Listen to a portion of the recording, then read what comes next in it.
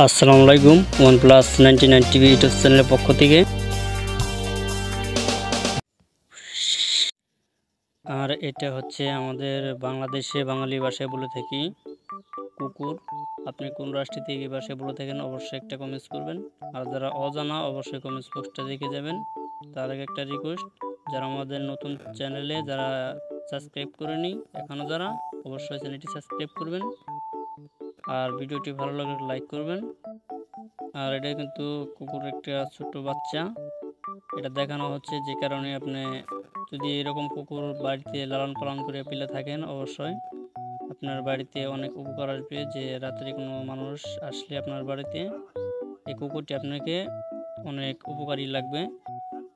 যখন তখন কেউ বাড়িতে হুট করে ঢুকে পড়লে, যখন তখন এই কুকুরটি আপনি ঘাউ ঘাউ করে ডেকে উঠবে। এটা হচ্ছে শিকারি কুকুর। যেভাবে করা হয়, সেভাবে হয়। মানুষের ডাক, ভালোবাসা ওই কুকুরে বুঝে।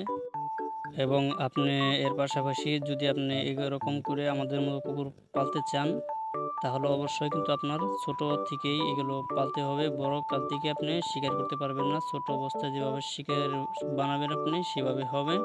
চেম টু ওকে, আশা করি বুঝতে পারছেন। যাদের আছে তারাই অবশ্যই জানেন।